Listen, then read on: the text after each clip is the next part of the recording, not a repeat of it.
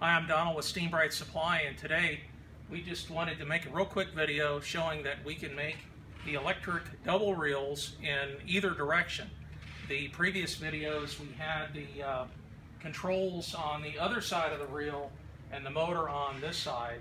In this case, we had a customer request that the vacuum be on the right and the side wheel be on the left, and then the controls would be here. So again, this would be like the rear of your van or the opening at this point.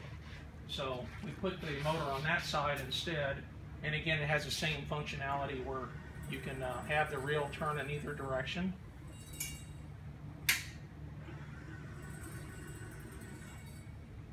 And when we ship it, we do have this turned in to make it the packaging a little bit smaller. When you get it, you'll just take the handle off and flip it to the other side. So anyway, you can request the reels to be in either way. This is a, uh, a dual 300, so this will hold 300 feet of 2-inch carpet cleaning vacuum hose or pressure washing vacuum recovery vacuum hose.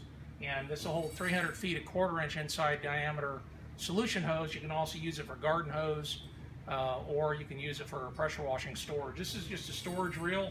This one over here is actually a live vacuum, so it's going to let the vacuum to travel through the hub of the reel.